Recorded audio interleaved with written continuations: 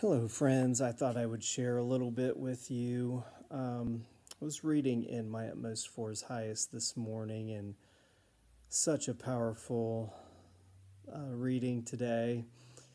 Uh, Chambers said, To become one with Jesus Christ, a person must be willing not only to give up sin, but also to surrender his whole way of looking at things being born again by the Spirit of God means that we must first be willing to let go before we can grasp something else. The first thing we must surrender is all of our pretense or deceit.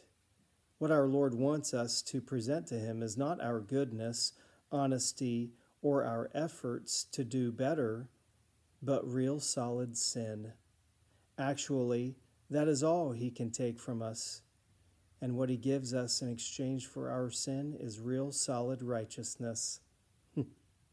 but we must surrender all pretense that we are anything and give up all our claims of even being worthy of God's consideration. It's interesting as we read the scriptures and uh, even some deep um, thinkers in the faith just how they so much um, understand, they, they truly get a good uh, grasp that the Christian faith is so much about emptying of ourselves, emptying of self, and really just receiving from God what He provides. And um, I just really like that line, uh, just that surrender, uh, but we must surrender all pretense that we are anything and give up all our claims of even being worthy of God's consideration. No, we're not worthy uh, at all of God's consideration, that God would even look on us and, you know, and say, oh, there's a fine individual. I'm, you know, I'm going to reach down and save that person. Um, Wayne has been such a good guy. I'm going to reach down and save him. Or Wayne has been such a good guy. I'm going to I'm going to call him into the ministry. And boy, that's just simply put, that's not how it works at all.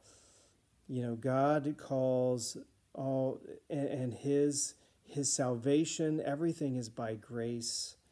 And um, praise God that we can't earn any of it, we can't deserve any of it. It is all simply because He loves us and He graciously has gifted us to do, uh, to, to be who we are and to do what we do. Um, so all glory to God for for who He is and how He calls us first into fellowship with Him, into salvation, and then calls us and equips us, um, provides us spiritual uh, gifts in order to serve Him. All glory to Him. Well, you all, I hope that encourages you.